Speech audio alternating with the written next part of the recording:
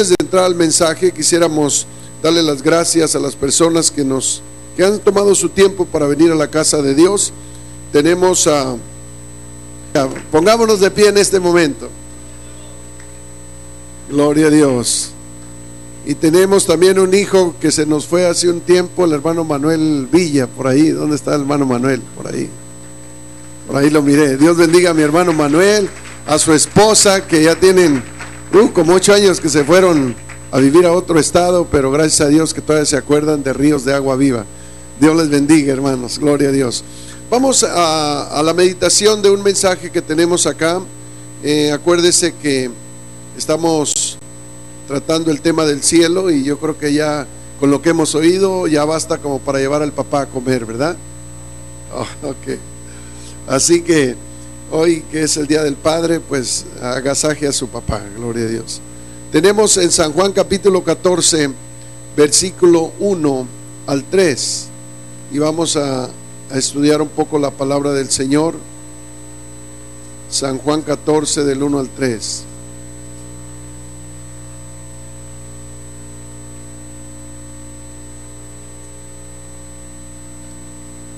Dice la palabra del Señor en el nombre del Señor Jesucristo. Vamos a hablar de la herencia del pueblo de Dios. Hemos estado hablando del cielo durante tres semanas.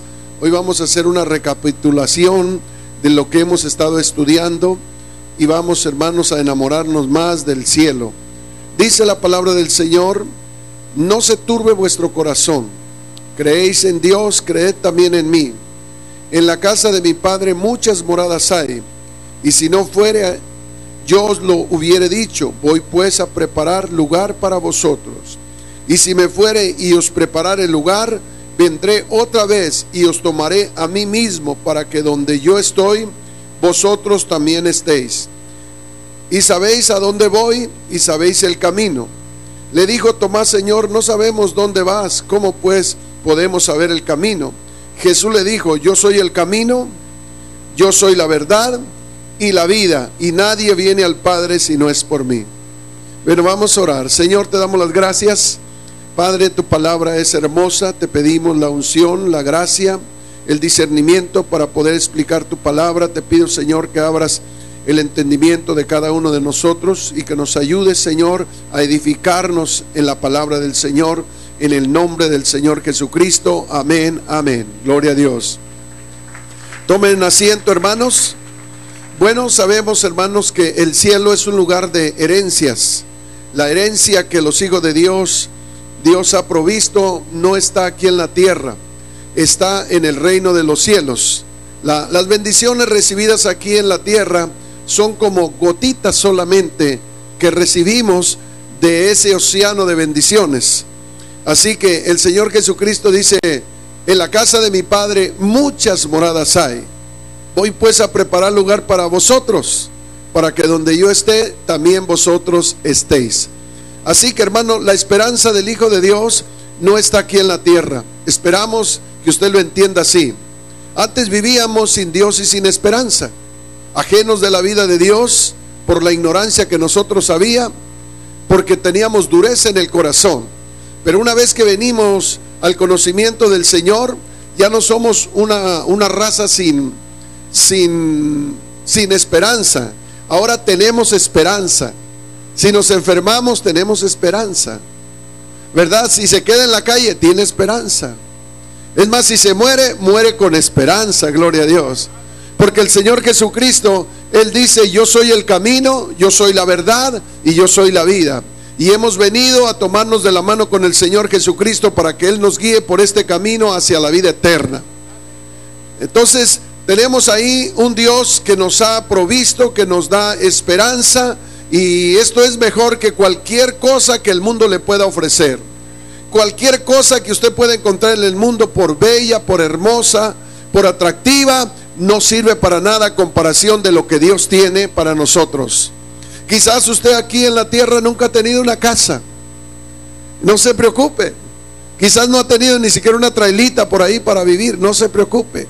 La Biblia dice que hay moradas celestiales en el cielo. Y dice, voy a preparar lugar para ustedes, para vosotros, dice, para aquellos que, que han seguido al Señor Jesucristo. Entonces, hermanos, cuando uno se despega de Dios, uno pierde toda esperanza y vive en esta vida sin esperanza, un mundo sin esperanza. Hermano, no hay esperanza, el gobierno no te da esperanza, las instituciones no te dan esperanza, los hospitales a veces vas y no te dan esperanza. Pero la esperanza se encuentra en Jesucristo. No se turbe vuestro corazón. Creéis en Dios, crean también en mí. En la casa de mi Padre muchas moradas hay. Aleluya. Qué herencia, hermanos, que el Señor Jesucristo nos ha dejado. Ahora, si usted, si miramos en Romanos capítulo 8, verso 17, nos habla que Dios tiene una herencia para nosotros. Y esa herencia no está aquí. 8, 17 nos dice, y si hijos también herederos porque cuando uno le entrega su vida a Cristo, automáticamente se vuelve heredero de qué? Heredero de Dios y coheredero con Cristo, si es que padecéis juntamente con Él para que eh, juntamente con Él seamos glorificados. Entonces, cuando una persona dice, y si hijo, también usted es heredero. O sea, hay una herencia incorruptible, hay una herencia inmarcesible, hay una herencia, hermanos, tan grande que, hermanos, vale la pena esforzarnos, vale la pena luchar por esta herencia. Ahora, ¿por qué no nos da esa herencia el Señor ahorita que la necesitamos más aquí en la tierra? Bueno, Dios no nos va a dar la herencia porque nos va a pasar como el pródigo. ¿Se acuerda cuando su papá le dio la herencia? ¿Qué hizo? Se puso a negociar y, fue un hombre rico, fue un hombre que, multiplicó sus, sus graneros y no, dice la Biblia que en cuanto recibió la herencia, inmediatamente se fue a la parranda, se fue a la droga y se perdió completamente. ¿Qué sería si el Señor nos deja caer ese peso de gloria sobre nuestras vidas acá en la tierra? Nos echa a perder a todos. Por eso es de que Dios está preparando un lugar especial. La herencia no está aquí, la herencia está en el más allá. El tema del cielo, hermanos, es un tema que nos debe interesar a todos. Todos, hermanos, debemos de interesarnos en el tema del cielo, porque sabe que no somos eternos aquí. Y sabía, hermano, que todos los pueblos antiguos, todos pensaban en el cielo, todos creían que allá había vida después de la muerte. Inclusive cuando los colonos llegaron a este país, dice que cuando, cuando llegaron a este país los indígenas, pensando que hay una vida más allá, cuando morían, ¿verdad? Los, los hombres ricos los sepultaban con todo y su dinero lo sepultaban con todo y su ganado, lo sepultaban con todo y sus criados y hasta la mujer también la sepultaban. Porque sabían que había vida más allá y para que les sirvieran los criados en el más allá. Ignorantemente hacían todo esto, pero Dios puso eternidad en el corazón de nosotros. Y todos nosotros sabemos que hay vida eterna después de esta muerte. La Biblia nos habla del cielo Cielo con sus derivados, más de 700 veces habla de cielo la palabra del Señor. Entonces, hermanos, tenemos que vivir ilusionados del cielo, pensando en el cielo, esperando el cielo, teniendo esa esperanza gloriosa. Jesús quiere que pensemos en el cielo. De esta manera empezaremos a llenar pues los requisitos. Si no pensamos en el cielo, no vamos a llenar ningún requisito. ¿Por qué será que este país, hermano, pide tantos requisitos para hacerse ciudadano? Pues es igual también en el reino de los cielos hay requisitos para poderse hacer ciudadano, hermanos. Si usted quiere ser un doctor, no basta con tener deseo de ser doctor. Hay que llenar los requisitos para ser un doctor. ¿A cuántos de nosotros quisiéramos ser un, un licenciado, hermanos? Pero el querer no significa que usted va a ser un licenciado. Hay que llenar los requisitos para ser un licenciado. Y si todos queremos ir al cielo, hermano, hay que llenar los requisitos para llegar al reino de los cielos. ¿Está entendiendo? Venimos aquí, nos preparan, nos adiestran, nos abren los ojos, nos muestran el camino. Queremos llegar al reino de los cielos. Ahora, el reino de los cielos es un lugar de majestad, es un lugar de gloria. El diccionario nos habla acerca del cielo y dice, el cielo lo tipifica como divino, celestial, tierra prometida, lugar de delicias y angelical. El lenguaje humano no alcanza o no alcanzaría a describir el reino de los cielos. Segunda de Corintios capítulo 12, del 3 al 4, nos habla que Pablo fue al reino de los cielos y miró cosas que no le es permitido, no hay lenguaje humano que se pueda comparar a lo que él escuchó en el cielo. O sea, si Pablo, hermanos, empieza a explicar todo lo que vio en el cielo, dice que los seres humanos no entenderían ese lenguaje, porque dice la Biblia, cosas que ojo no vio, cosas que oído no escuchó, son las que Dios tiene preparada para aquellos que le aman, hermanos. Por eso después de que Pablo va al tercer cielo y el Señor lo deja ir, hermano, lo lleva en el Espíritu para que escribiera algunas cosas, él cuando regresa del reino de los cielos en Romanos 8:35, después de que él que regresa, él dice, yo estoy seguro que ni la muerte, ni la vida, ni ángeles, ni principados, ni potestades, nada me puede separar del amor de Dios que es en Cristo Jesús. Ni lo ancho, ni lo profundo, ni peligro de espada, ni peligro de nada me puede separar. Porque oiga, con este viajecito que tuvo en el reino de los cielos, hermano, por eso él anhelaba estar con Cristo, lo cual dice, dice, es muchísimo mejor, hermano. Ojalá y Dios nos dé esa revelación, hermano, para darnos cuenta y poder decir, nada ni nadie me puede separar del amor de Cristo Jesús. Yo voy a luchar hasta la muerte, voy a luchar hasta el fin por ganar la vida eterna. Porque qué granjear el hombre si tuviera todo el mundo y finalmente perdió su alma. Así que vale más vivir aquí con necesidad, vale más vivir si, si Dios quiere tenernos en pobreza, no importa, lo importante es estar con esa ilusión de la vida eterna, hermanos, aleluya. Porque ¿qué se gana con tenerlo todo y que lo esté esperando un lugar de condenación, un lugar de tormento, un lugar de tinieblas? Por eso el Hijo de Dios debe vivir contento, porque dice la Biblia, si hijos también herederos. Y si usted ya le entregó su vida a Cristo, porque no se confunda, la, gente piensa que todos somos hijos de Dios. No, bíblicamente no son hijos de Dios aquellas personas que no le han entregado a Cristo. Son creación de Dios, que es una cosa muy diferente. Pero hijo de Dios es, como dice San Juan 1.12, a todos los que lo recibieron, a los que le abrieron su corazón, les dio potestad de ser hechos hijos de Dios. Y tarde o temprano, Dios viene a cada ser humano, no importa quién sea, y le toca las puertas de su corazón y le dice, yo estoy a la puerta y llamo, ábreme la puerta y voy a entrar a cenar contigo y vamos a tener un continuo banquete. Hay gente que le cierra la puerta al Señor. Hay gente que, hermano, no quiere nada del Señor. Bueno, esta gente no va a ir al cielo. Simplemente ¿por qué? Porque en el cielo está Cristo. Y si saben que viene uno a la iglesia a que le hablen del Señor, a que le hablen del cielo, a que le hablen de Cristo, y ellos detestan venir a la iglesia, ¿qué tiene que ver el cielo con esa gente? ¿Sabe? Para, para la gente que anda en pecado, el cielo sería la tortura más grande para ellos, porque ellos detestan el cielo. Ellos no quieren ir al cielo. La gente que está aquí es porque quiere ir al cielo. Aman el cielo. Aman a Cristo. Quieren sentir su gloria, quieren sentir su presencia. Para ellos es el reino de los cielos. Pero el que no quiere nada, que lo traen a la fuerza a la iglesia, imagínense para llevarlo a rastras al cielo también, porque no quiere estar en el cielo.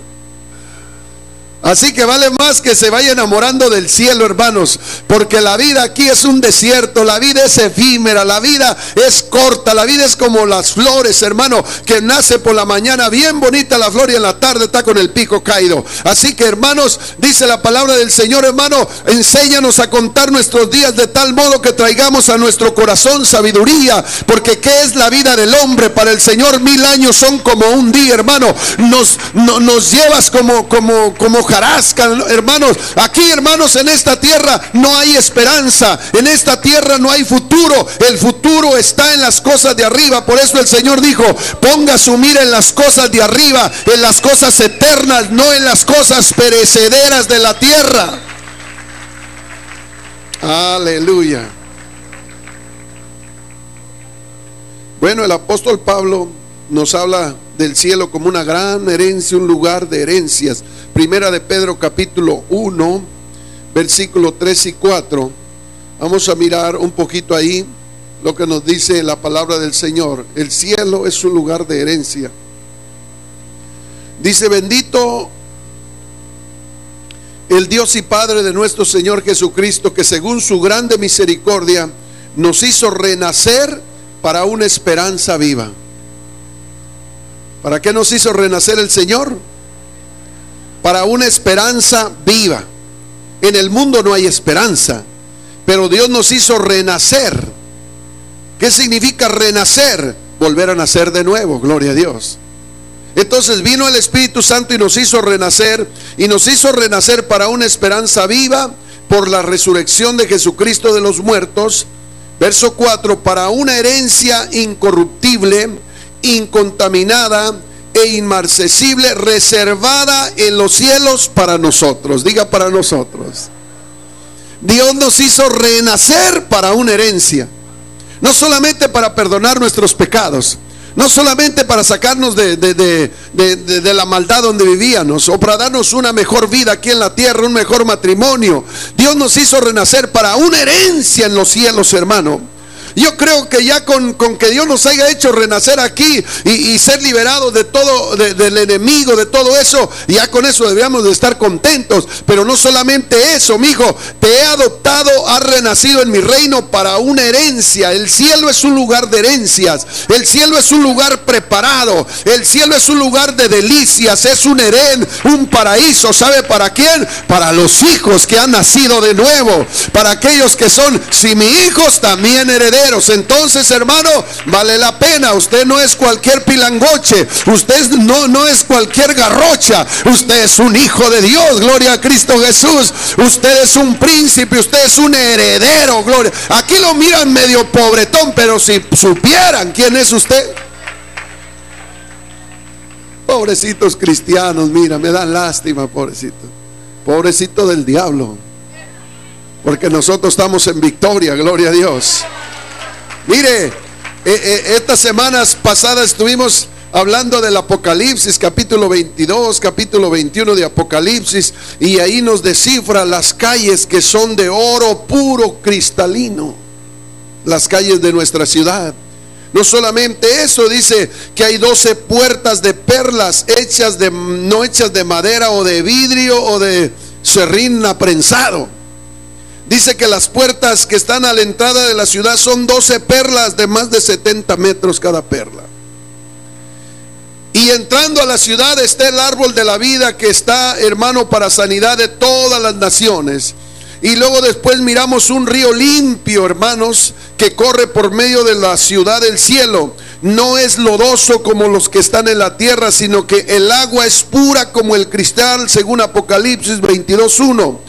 Todos esos términos, hermano, los describe la palabra del Señor. Además de eso, en ese lugar hemos estado leyendo que en ese lugar no habrá más muerte, no habrá más sufrimiento ni enfermedad. ¿No le gustará vivir en un lugar de esos?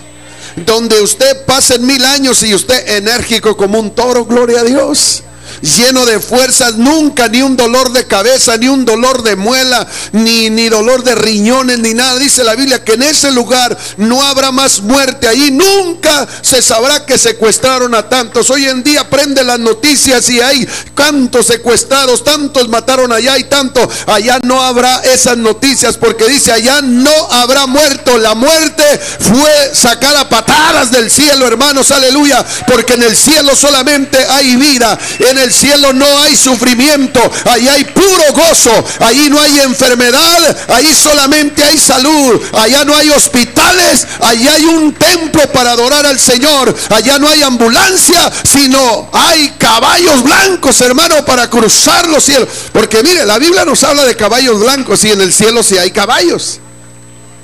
¿Cómo viene la iglesia el día que venga? Cuando viene el día del juicio, dice la Biblia que viene el Señor Jesucristo en un caballo blanco. Y dice que trae una corona de rey y una franja sobre su muslo, sobre su pecho, y dice Rey de Reyes y Señor de Señores. Y detrás de él le viene siguiendo una multitud. Viene la iglesia vestida en cordeles, en caballos blancos, en victoria, hermanos, aleluya, vestidos de blanco. Estos son aquellos que salieron en victoria, aquellos que lucharon hasta la muerte, aquellos que no se hicieron para atrás, aquellos que no fueron cobardes, aquellos que lucharon contra viento, contra marea, contra el día Hablo contra el mundo, contra la carne y finalmente salieron victoriosos. A ellos es el reino de los cielos. Aleluya, gloria a Dios. Es un lugar de comunión, el cielo. porque allá estaremos con todos los que han muerto.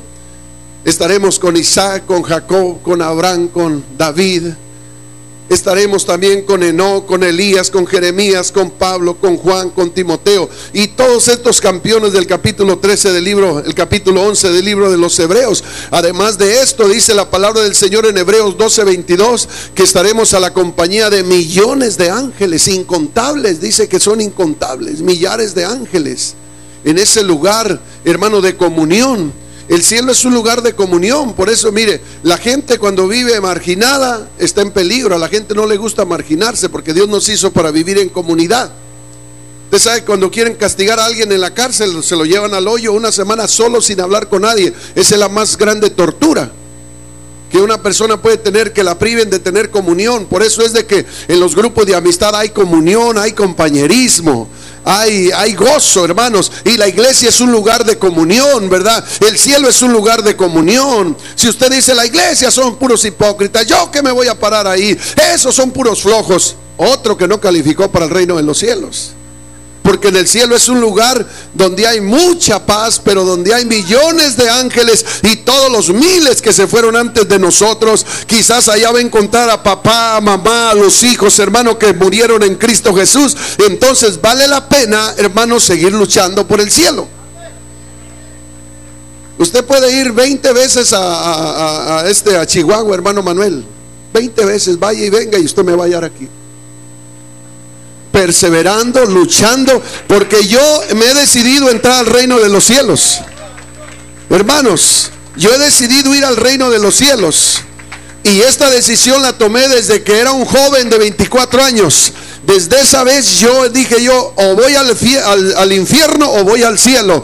Pero me decidí por ir al cielo. Y hermanos, han venido toda clase de luchas, pero el Señor ha estado conmigo y no me ha dejado en medio de los osos de los leones, en medio del fuego, en medio de la cárcel. Él nunca me ha dejado porque dijo, yo no te dejaré ni te desampararé. Es más, dice la Biblia, no tomarás el nombre de Jehová tu Dios en vano. Cuando una persona tome en serio el nombre de Dios, Dios toma muy en en serio también esa vida, hermano. Y nunca la deja, hermano, en ningún momento.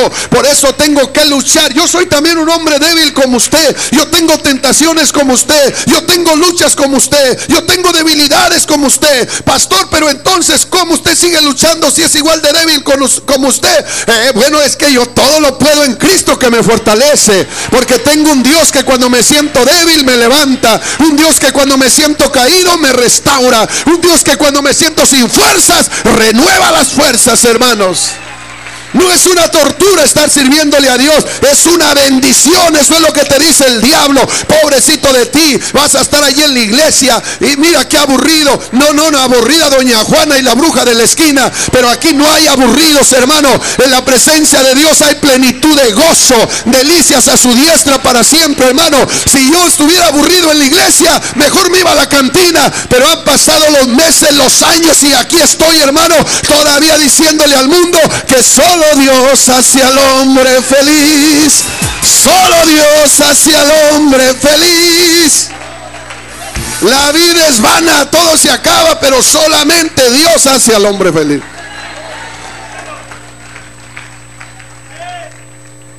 El cielo es un lugar de recompensas. Aparte de que es un lugar de delicias, es un lugar de majestad, es un lugar de comunión, el cielo es un lugar de recompensas. Mire, usted hágale ahorita como cuando va al cine, que se pierde en la pantalla. Ya ni se acuerda de los frijoles, ni, ni nada. Porque está tan metido en, aquello, en aquella película. Bueno, hoy le estamos pasando una película del cielo, gloria a Dios. Así que esperamos que no, que no esté pensando, que no ande de panza allá debajo del carro cambiándole el motor porque puede ser que esté usted aquí, pero su mente anda por allá, por otros lugares.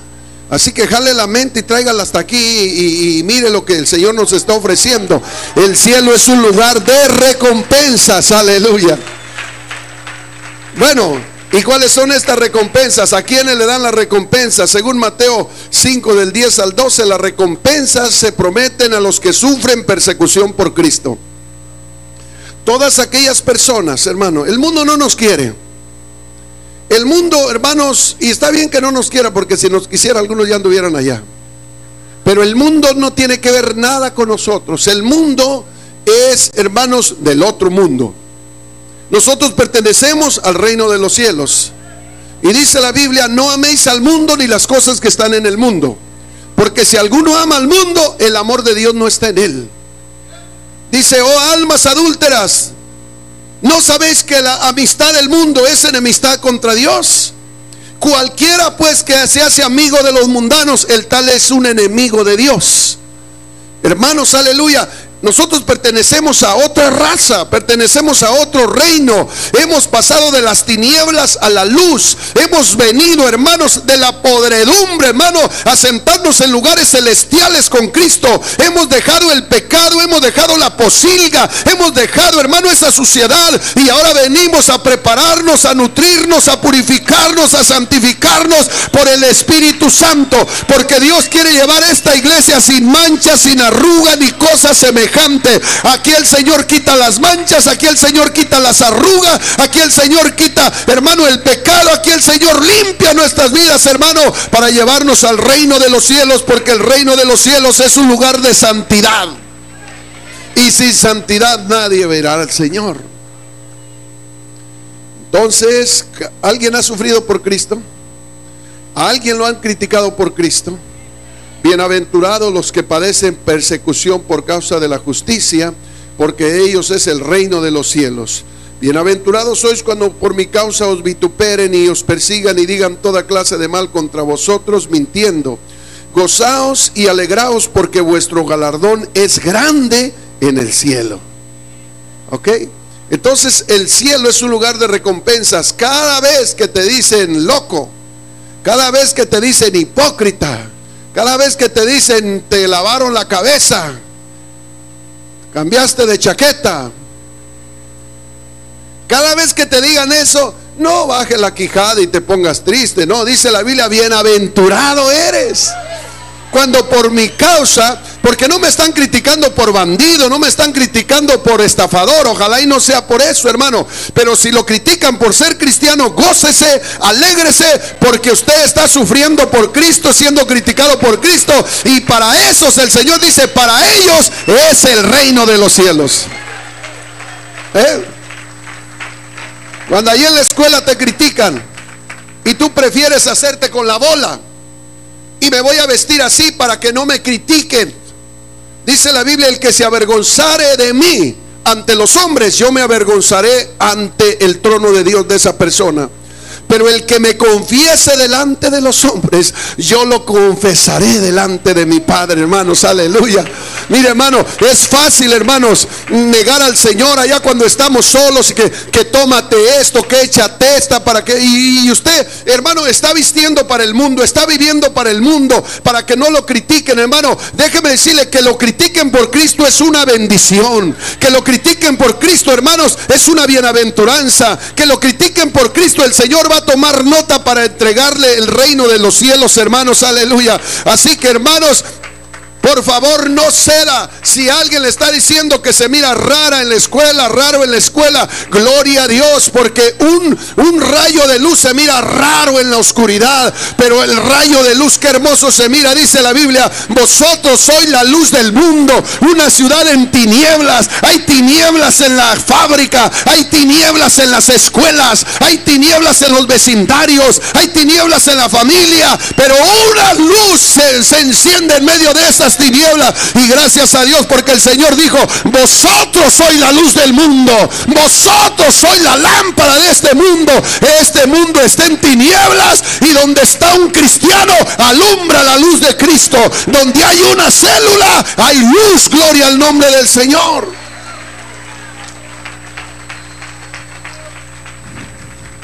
Recompensas para los que padecen persecución.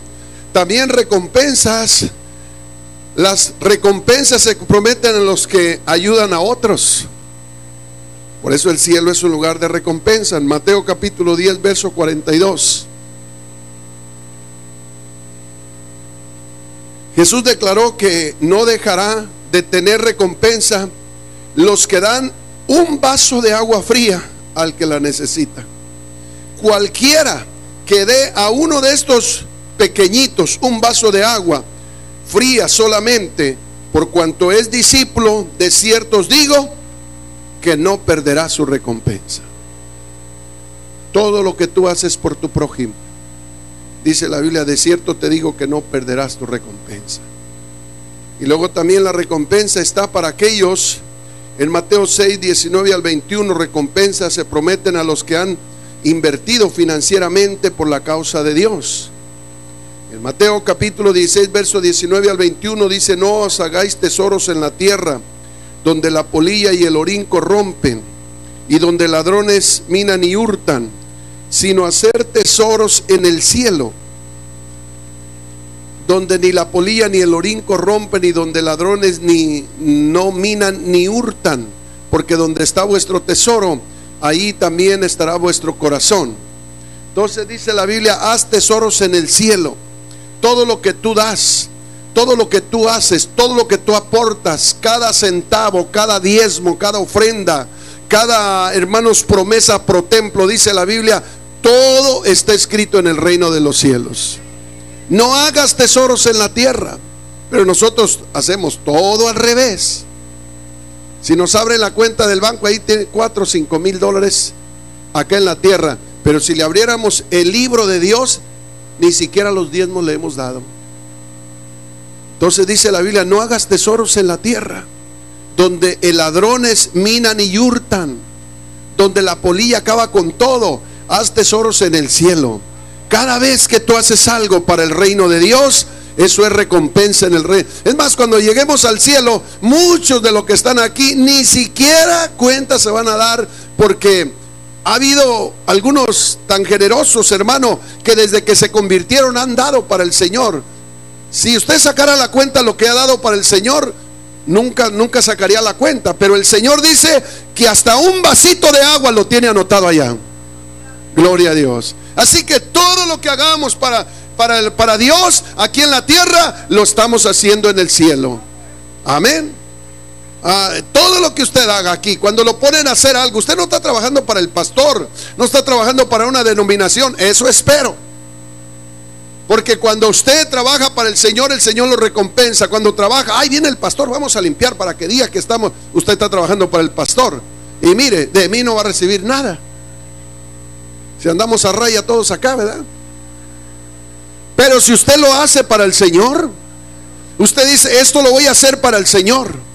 Yo voy a lavar la iglesia, yo voy a limpiar, yo voy a donar una silla, yo voy a poner la carpeta, yo voy a dar una promesa pro templo. Usted no va a ser de lo que van a decir, pastor, me dé el dinero para atrás. ¿Por qué? Porque no dio una promesa para Dios, dio una promesa para el hombre. Y mejor ni me ni digo nada. Ni digo nada.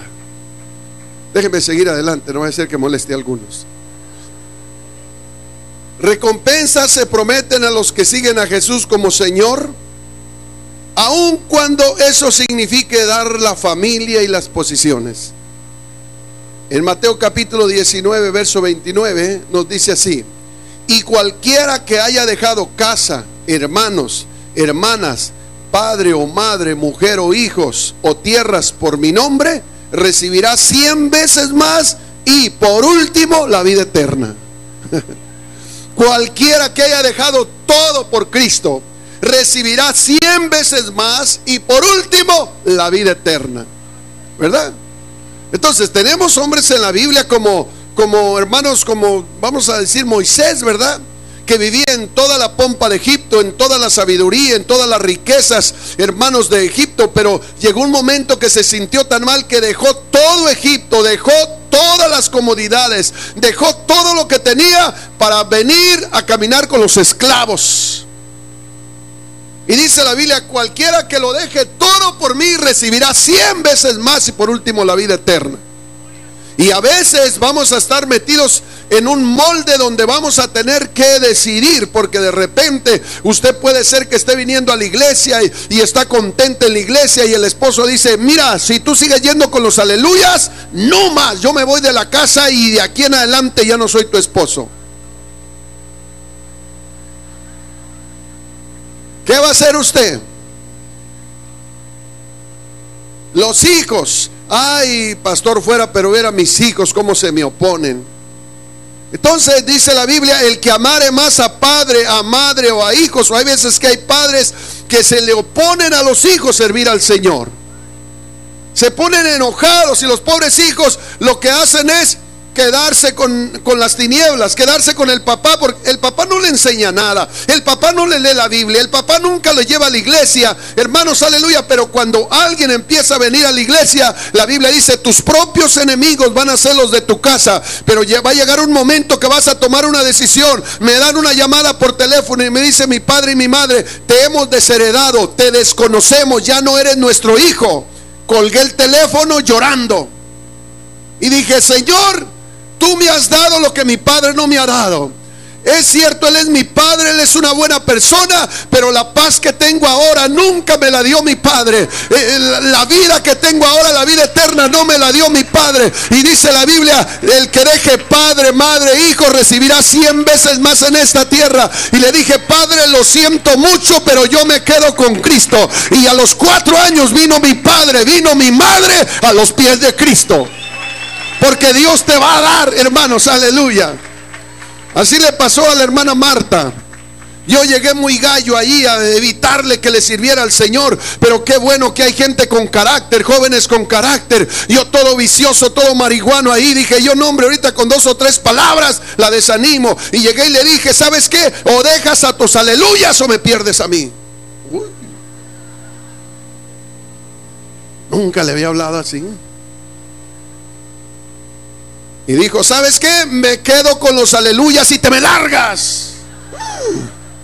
Dije yo, esta la arrastro, esta no me hace eso. En mi rancho las arrastraban. Dijo, aquí la voy a arrastrar yo. Pues ese día no, porque me agarró desaprevenido, me agarré temblando. Pero dije yo, yo voy a volver y, se, y vas a ver quién soy yo. Pero dice la Biblia, el que deje todo por mí recibirá cien veces más. Y por último la vida eterna. No había pasado ni tres semanas cuando estaba yo llorando allí en un garage queriéndole entregar mi vida a Cristo. No sé qué me pasó, hermano. Fui caminando por una iglesia y caí de rodillas y le entregué mi vida a Cristo. El Señor dijo, mira, dejaste a este borracho por mí, ahora te lo entrego lleno del Espíritu Santo y siendo un nombre de Dios, aleluya. Porque el que deje algo por mí, yo le voy a dar cien veces más, hermanos, aleluya.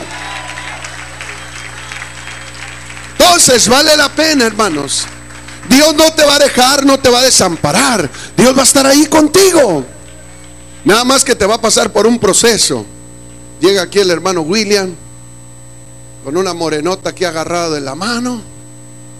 Y dijo, pastor, quiero servir al Señor. Y dije, sí, la mujer que traes ahí, que es tu esposa. No, no es mi esposa. Digo, no se puede servir a Dios así, hermano. Porque usted está en adulterio. ¿Y qué hago?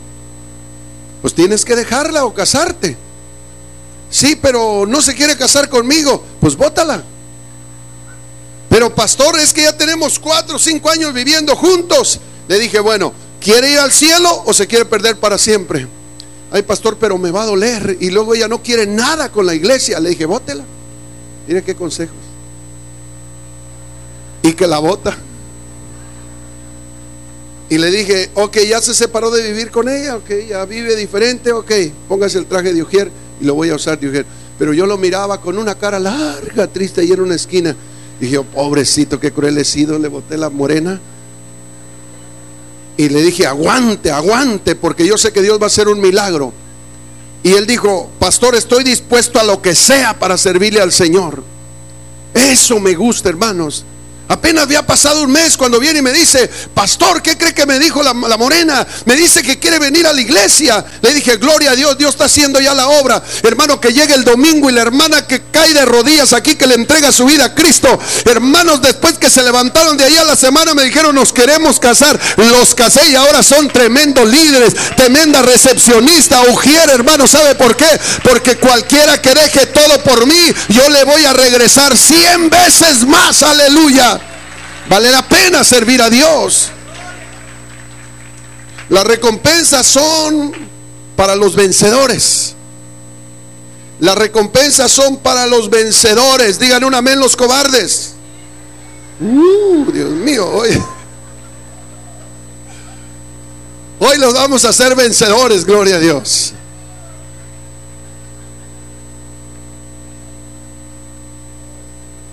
Las recompensas para los vencedores, Apocalipsis 3:12 dice, al que venciere, yo le haré columna en el templo de mi Dios y nunca más saldrá de ahí. Y escribiré su nombre en el libro de la vida de mi Dios y de la ciudad de mi Dios, la nueva Jerusalén, la cual desciende del cielo de mi Dios. Y mi nombre nuevo, el que tiene oídos para oír, oiga lo que el Espíritu dice a la iglesia.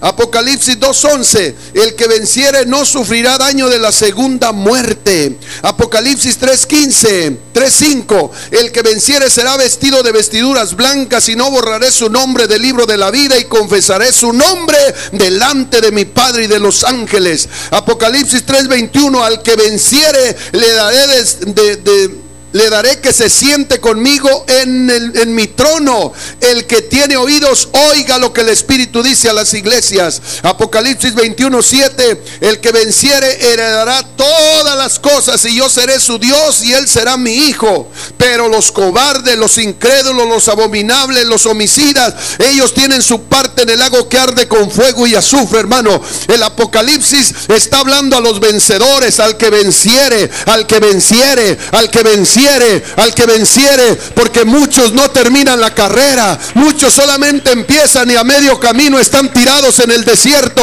Pero dice la Biblia, al que venciere, gloria a Dios por los vencedores, gloria a Dios que no nos ha dejado. ¿Cuántos tienen un año de servirle al Señor? Siga luchando. ¿Cuántos tienen dos años? Siga luchando. ¿Cuántos tienen cinco años? Siga luchando porque un poquito y el que ha de venir vendrá y no tardará. Un día de esto sonará la trompeta en el tercer cielo los muertos en Cristo serán resucitados. Luego nosotros los que vivimos, los que estemos aún con vida, seremos transformados en un instante, en un abrir y cerrar de ojos, hermano, y así volaremos para estar siempre con el Señor. Vence, hermano, usted más que vencedor, hermana, usted más que vencedor. El diablo te quiere destruir, el diablo quiere llevarte al infierno, pero Cristo quiere llevarte al cielo. El diablo quiere llevarte a las llamas, pero Cristo quiere llevarte al río de aguas cristalinas.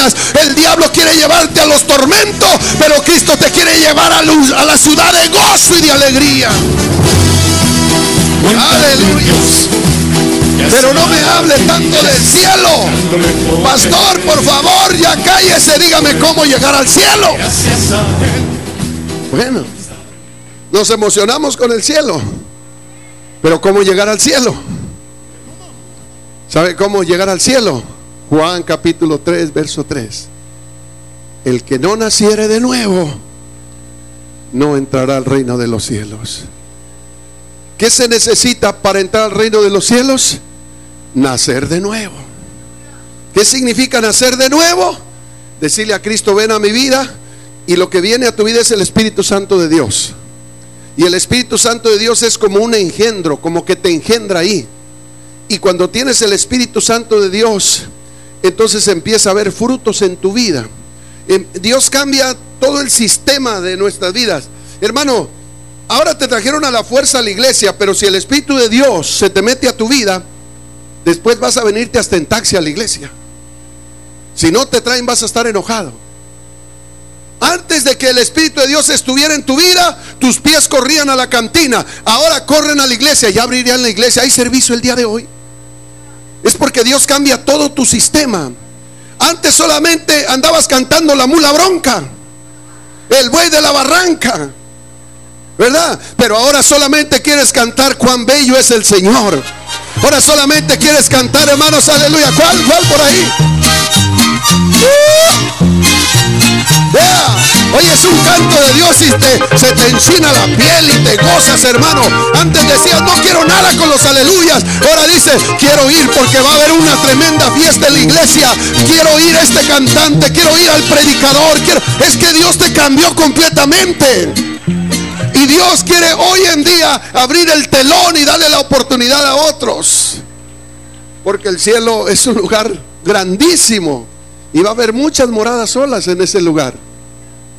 Dicen que si toda la gente del planeta Tierra se convirtiera en este día, habría una mansión para cada uno de ellos. Pero un 90% de los seres humanos que hay en la tierra no quiere nada con Dios. Usted le habla a 10 personas, uno viene, los demás no quieren. Así que allá va a haber mansiones celestiales ¿Qué va a haber? Uy, hermano, vamos a seguir la próxima semana. Pero vamos, hermanos, a pedirle. Yo sé que aquí hay muchos de nuestros amados amigos que han venido porque tienen fe en Dios. Pero no basta tener fe en Dios, hay que entregarle la vida a Dios. Y si usted le entrega la vida a Dios, usted puede decir, no, pues mire, es que yo no entiendo esto, a lo mejor fallo, ¿no? Usted no se preocupe. Usted dele la vida a Dios y Dios le va a ayudar a dar el otro paso. Lo que usted no puede lograr en, su, en su naturaleza humana, lo puede lograr fácil en la naturaleza divina. ¿Cuántos de ustedes en otro tiempo eran bien blasfemos? ¿Quiso cambiar algún día? ¿Y por qué no cambió? Pero cuando vino a Cristo, sin darse cuenta ya, todo eso se fue. Antes decía, no vuelvo a tomar, no vuelvo a ponerme marihuano, no lo voy a hacer. No, hombre, no pasaba ni tres días y el diablo lo trae otra vez, otra vez, hermano, arrastrando la cobija como cucaracha fumigada otra vez. No que no, no, no que ibas a cambiar. Es que el diablo sabe cómo es el diablo. El diablo es como, como los ratones, los gatos. Yo, yo miraba un gato que teníamos ahí en la casa y le gustaba pescar ratitas. Y ya cuando las pescaba, no las mataba. Le gustaba jugar con ellas. Y agarraba la rata y, la llenaba de saliva, jugaba con ella y, y, la ratilla corriendo a la carrera. Y el gato y el gato nada más la estaba mirando. De repente se le, se le, se le movía un poquito la rata y el gato nomás le hacía. Jugaba una hora, dos horas con ella y dejaba la ratita como que ya se iba metiendo al, agujero, pero se le atravesaba el gato. Ya cuando se enfadaba, nada más se oía ¡crack! agarraba de la cabeza y la desbarataba y se la comía. Y hay veces que nosotros andamos así, ya no vuelvo a tomar, ya no vuelvo a fumar, ya no vuelvo, Señor. Y el diablo dice, ¿a dónde vas, ratita? ¿A dónde vas?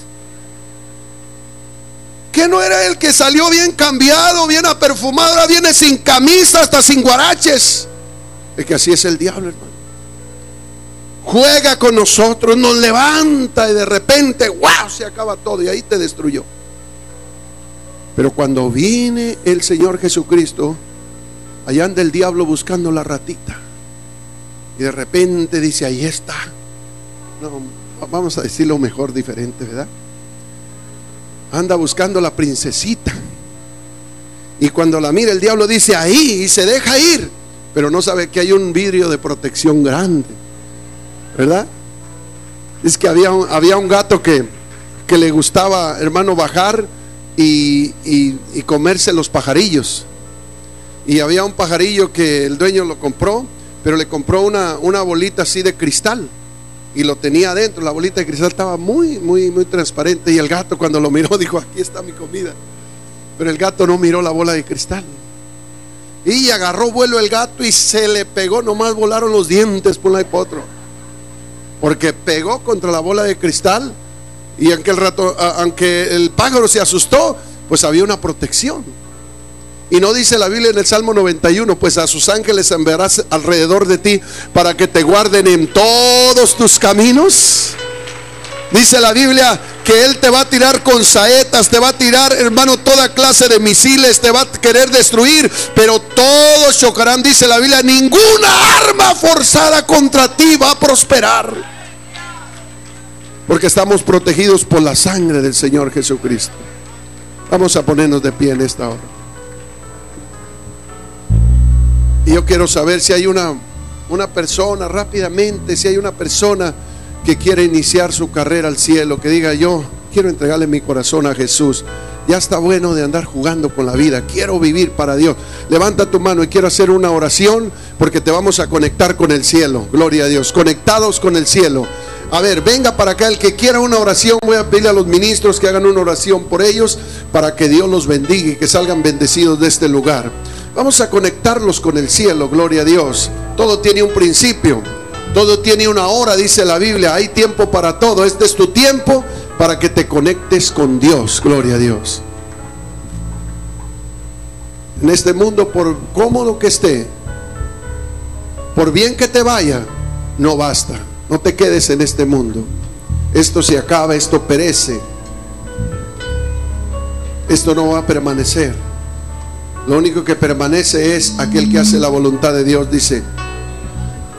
Dice, ese permanecerá para siempre. Ese caminará para siempre con el Señor. El vivir es Cristo y el morir es ganancia, dijo el apóstol Pablo. Cuando un hijo de Dios muere, no ha perdido, entró a la verdadera luz. La vida es una muerte aquí. Vivimos muriendo todos los días, vivimos muriendo. El día que usted muere, ese día vivirá por toda la eternidad. Yo quiero que venga a este lugar y vamos a hacer esa oración. ¿Quién más le va a entregar su corazón a Jesús? Gloria a Dios. Yo quisiera que los hermanos, ¿verdad? Entendieran que nosotros somos privilegiados, hermano. Que no somos aquí personas, hermano. Usted, usted tiene el privilegio más grande que cualquier ser humano tenga en la tierra. Y vamos a darle también ese privilegio a los amigos que nos han visitado porque Jesús dice, en la casa de mi Padre muchas moradas hay. Hoy una morada más se va a ocupar. Se va a apartar. El nombre de esa morada se va a apartar para el que se entregue la vida al Señor Jesucristo. Y dice la Biblia, y después no dejes que nadie te robe tu corona. Gloria a Dios. Vamos a cerrar nuestros ojos y vamos a hacer una oración de entrega. Dígale así, Señor Jesús, gracias te doy por la oportunidad que me das de poder entregar mi corazón a ti. Quiero nacer de nuevo. Quiero pedirte perdón por todos mis pecados. Quiero decirte que te necesito. Quiero estar protegido por tu presencia. Que tus ángeles acampen alrededor de mi vida, de mi hogar. Te acepto como mi Dios y como mi único Salvador. En el nombre de Jesús me declaro tu hijo en este momento. Y si hijo, también heredero, dice la Biblia. No solamente hijo, pero también con herencia en el reino de los cielos. Bendito Jesús, bendiga a los padres, bendiga a los hijos, bendiga a las familias, Señor. En el nombre de Jesús, en el nombre de Jesús. Todos orando, todos orando. Todos los que están en la silla, levanten sus manos, cierren sus ojos y empiecen a dar gracias. Empiecen a dar gracias. Todos. Gracias Dios por el cielo. Gracias Dios por tus promesas. Gracias Dios por la esperanza que veniste a dar a mi vida. Gracias Señor porque ya no vivo sin Dios y sin esperanza. Ahora tengo esperanza Señor. Gracias. Estás pasando por algún problema, tienes esperanza.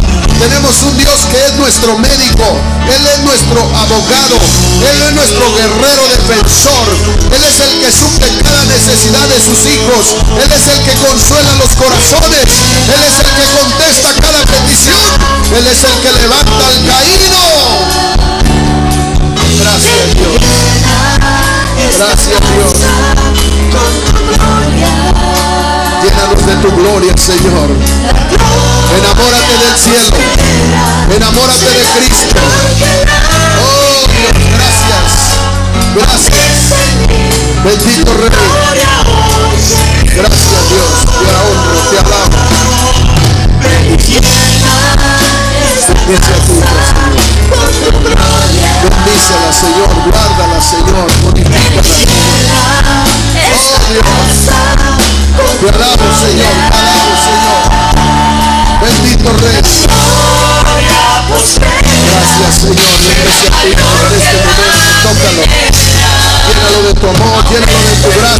Señor. Llénalo de tu perdón. En el nombre de Jesús. En el nombre de Jesús de Nazaret, Señor. Dios mío, Señor, vela por el alma de tu Hijo. Bendícelo, Señor. Guárdalo, Señor. Ayúdale a darte toda la gloria y toda la alabanza, Señor, en el nombre de Jesús. En el nombre de Jesús, Señor, bendice a tu hija, llénala de tu amor, Señor. Llénala de tu presencia, Señor, oh Dios mío. Gracias, Padre. Gracias por tus hijas.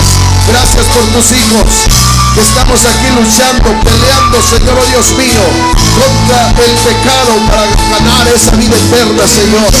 Gracias, Señor. No permitas que nadie tome nuestras coronas. No permitas que nadie nos quite nuestro galardón. Señor, esa recompensa, ese lugar, Señor, de delicias, ese lugar de hermosura, ese lugar del Edén, Señor, oh Dios mío. Gracias, Señor. Oh, aleluya. Prepárate, iglesia. Prepárate hermano, prepárate hermana. Prepara tu vida, prepara todo tu ser, prepara tu alma. Esa casa gloria.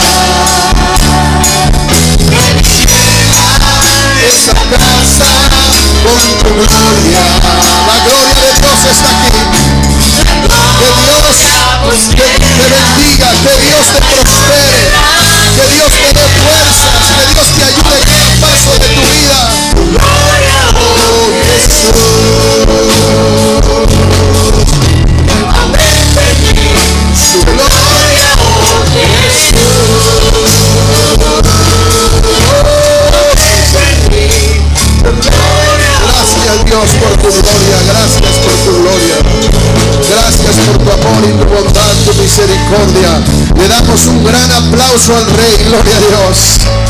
A nuestro Señor que nos ha comprado y nos ha lavado con su sangre. Gracias Señor, porque tú eres digno de toda gloria y de toda honra, Señor. Gracias Señor.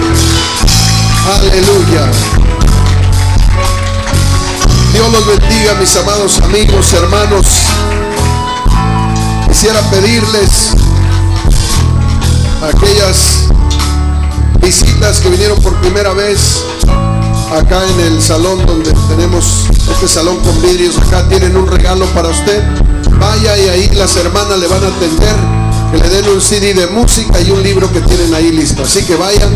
El Señor Jesucristo les bendiga, los guarde.